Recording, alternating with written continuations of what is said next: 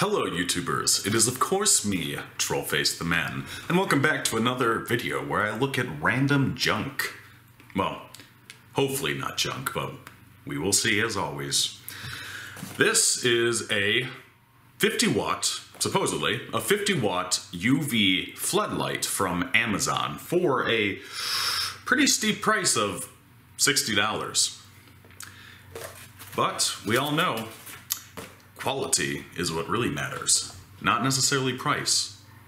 Necessarily.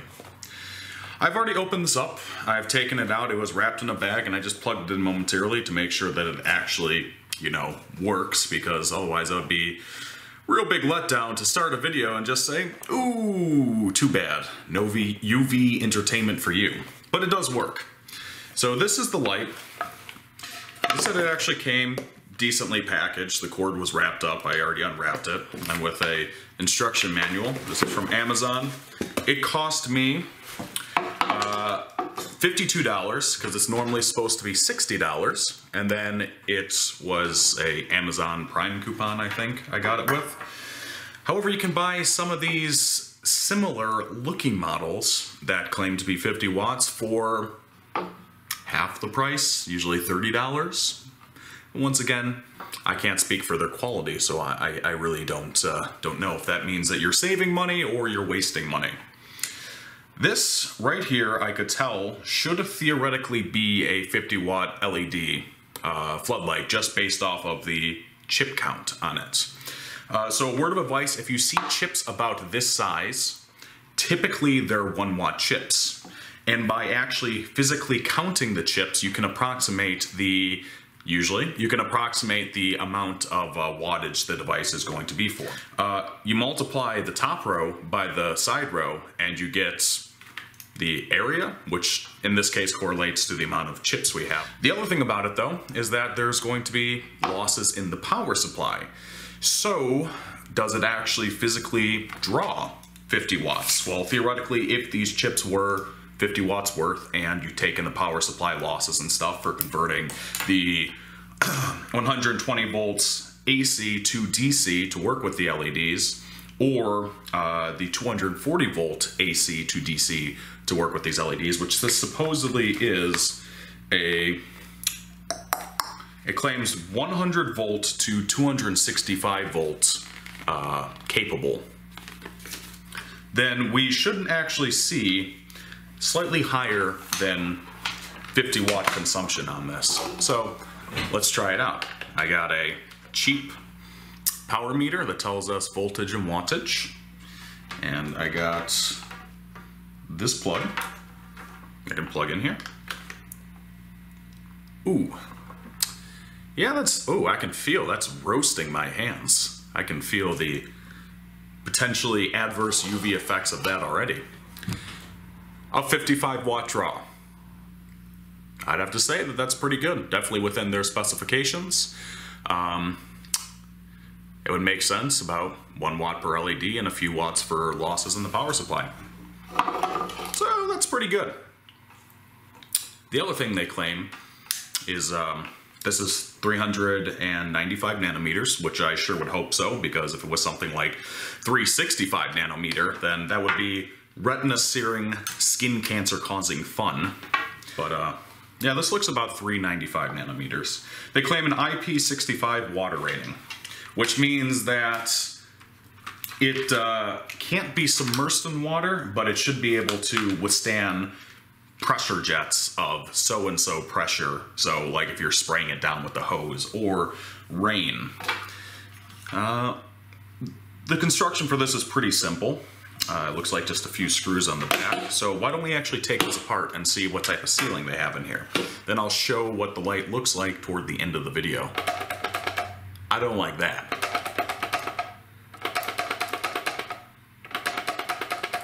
Almost can use it like an instrument. Anyways, uh, yeah, it seems like for that price, whatever that is should probably be properly mounted down and not free floating. But, uh, you know. So I see a couple of screws back here. And they're Phillips. They're not even tamper resistant. There's one thing I like doing, is taking things apart. So, take these screws out, which will take me just one second. So, uh, you, you might know, uh, if you're more of a long-term fan of this channel, that I collect uranium glass, which is a special type of glass that was typically made during the Depression era, uh, but it actually has uh, history even before that.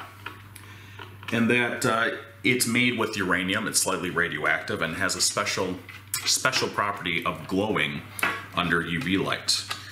So I was figuring that that would be a good use for this glass is if I do a display cabinet that I can have this UV glass or excuse me, this UV light in the, the glass cabinet case. Uh, and the other thing is, is that Halloween's coming up here very shortly. And what I did last year is I actually made a custom UV lights using some ch cheap chips I got on eBay.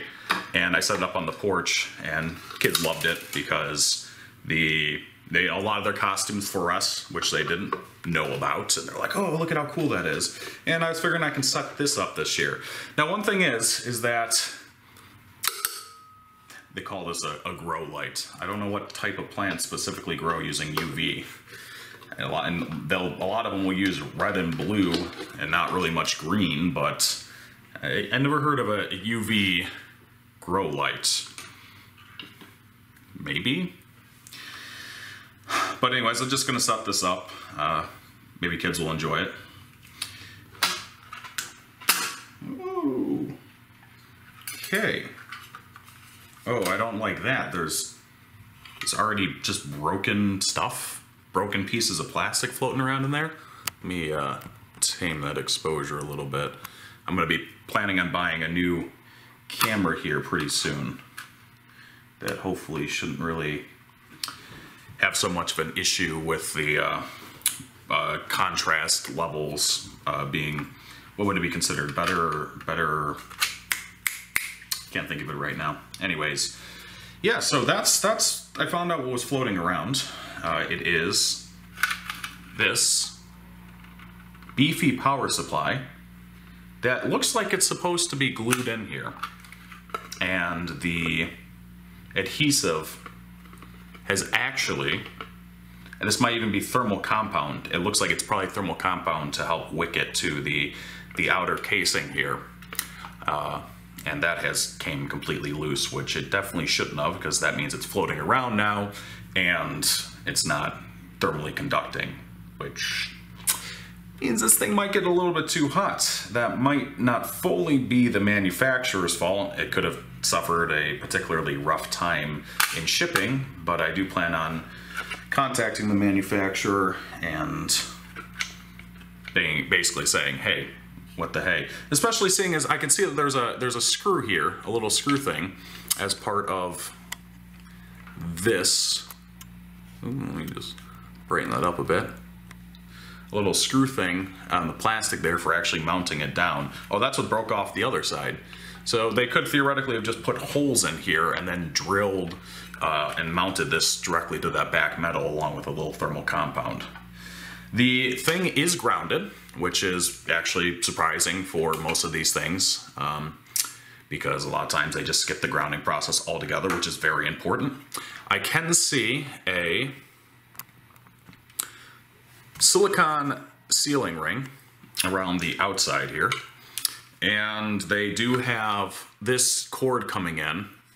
I'm sorry, it's dealing with the dark colors and then the light colors means I have to adjust the camera a lot because I can't trust the auto exposure.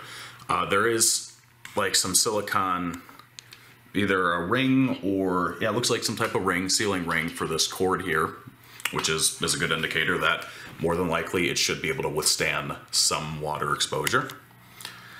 I don't like is that they have these wires connected with these quick connectors, which, sorry, I'm going a little zoom crazy here which is just a connector that if you flip up this plastic piece, the wire can be pulled out and then you can put the wire in and then clamp it down and that's supposed to hold it into place.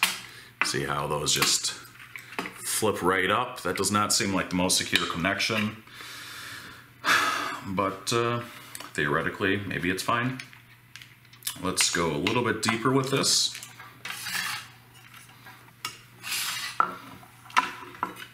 And take off this. I don't think that uh, there's really a whole lot more to see. It's just an enclosed LED driver. This says model LL2250PF 50 watt driver does say that it's able to support input of 120 through 2 excuse me 100 through 265 volts at 50 or 60 hertz and that it outputs 27 through 36 volts uh, that's a little bit strange. It should, having uh, a little higher output than potentially what it should unless there's some type of adjustment which I, I don't see an adjustment. Uh, yeah there's no there's no like adjustment on there unless they can adjust it externally with some type of resistor, but I don't see a resistor. So 27 through 36 volts could be quite a, uh, a tolerance difference when it comes to LEDs. So theoretically, maybe the 27 for if you're on 100 volts, and then the 36 if you're on 240, which means that the LEDs could potentially be being overdriven. I should test to see, I don't have a 240 volts Ooh, sorry about that. I don't have a 240 volt uh, output anywhere, but I could see what the output is with my 120 by just uh, touching the lines here.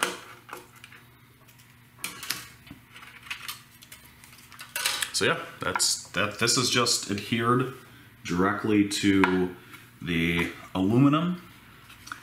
I'm assuming with some thermal compound. I'd really hope so. Uh, and that's a super simple construction. It is decently thick aluminum. Uh, let's let me grab a power meter real quick. All right, I got. Oh, excuse me. I got this little dinky one here. Uh, it does go uh, up to 300 volts, either DC or pulsing DC. Oh, so impressive. And what I'll do is I'm going to plug this light in and I'm just going to touch these connections here uh, going into the, the chipset and see what it reads. Oh, geez, that is not good for my eyes. I tried looking at it to plug it in and, ooh, uh, I don't even know. Uh, Uh, there we go. I'm just gonna, ooh, that didn't work either. Okay.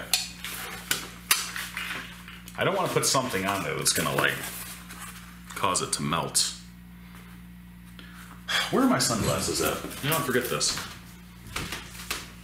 I know I just had a pair of sunglasses around. Where are they? Aha! You see, I got my brand new, super stylish dollar store sunglasses. Ah, that is much better. Okay.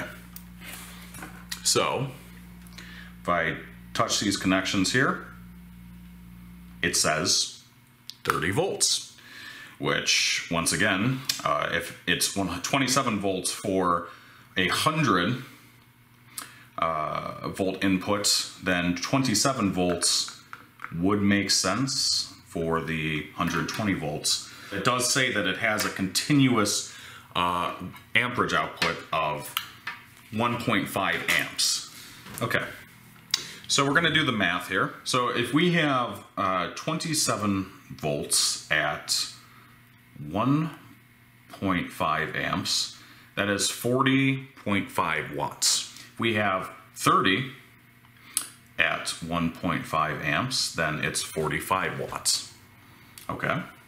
Now if we have uh, 36 at 1.5 amps, then we're talking about 54 watts.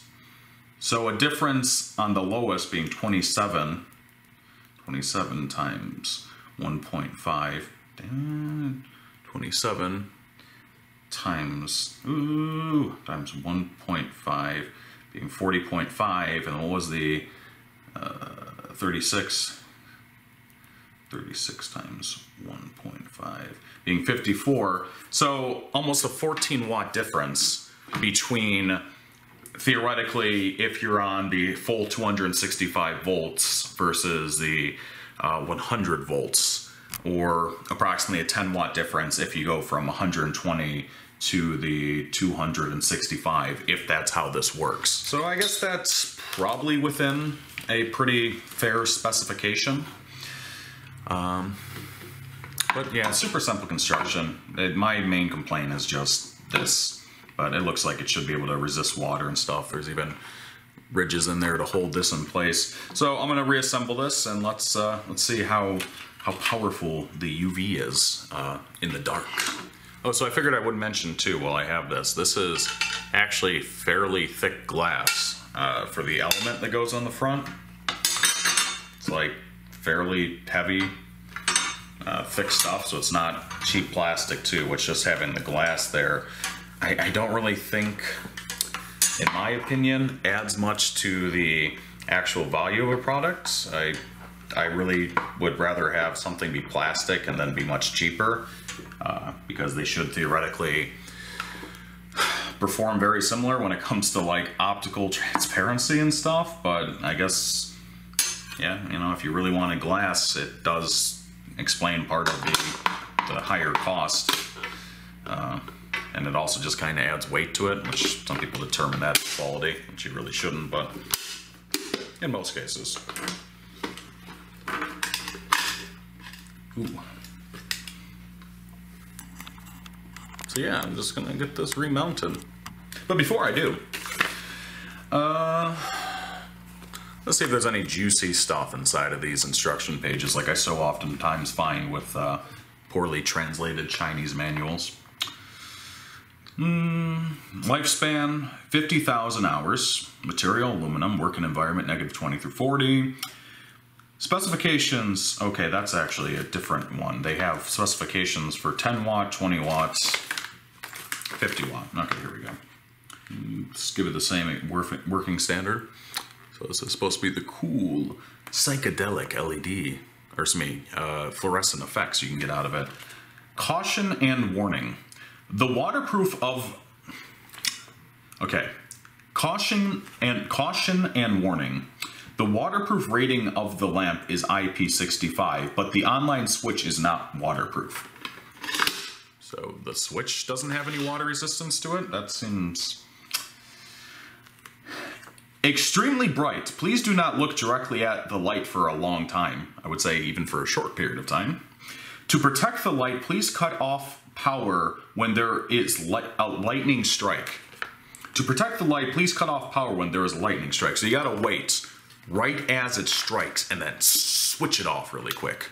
You know, just, oh, oh, is it, oh, and you can turn it back on, I guess, because it's only during uh, or excuse me, when there is a lightning strike. So you only have to do it while there's a lightning strike. Please do not plug the power cord with wet hands. Do not wrap this product with cloth or things like that when it is working. I mean, that is fair. It will insulate it. Uh, out of all the manuals I've seen, uh, they kept it short, they kept it sweet, and for the most part, it is understandable, unlike some of the ridiculous ones I've, I've seen before. I can feel the warmth from here, like not even joking. It's very close. You know, since I got this up. So here's an example of uranium glass. This is one of my favorite pieces. It's a little top hat. And uh, it gets this sort of greenish yellow color from the uranium in it. Once again, it is slightly radioactive and it has the unique property. This is a almost dead apparently LED flashlight, UV LED flashlight I made. It uses a supposedly 3 watt chip uh, that I got off of eBay. I made it using an old flashlight. And if I point it at this, you can see that it, it fluoresces green, which is really neat. Same thing with this uranium glass vase. Uh, as you can see, fluoresces green. I got this from the Salvation Army for $8. It's a piece of history, but I can only fluoresce a very small area with this flashlight. Let's try with the 50 watt floodlight. Oh, wait. Oh, yes. that that definitely fluoresces uh, quite a bit. Let's try with the big old vase. Ooh, that is even too powerful for the camera. Let me just knock back the exposure. A lot. Like a lot, a lot. There we go. That's more like it. So yeah, that uh, definitely covers its grounds in terms of uh, uranium glass.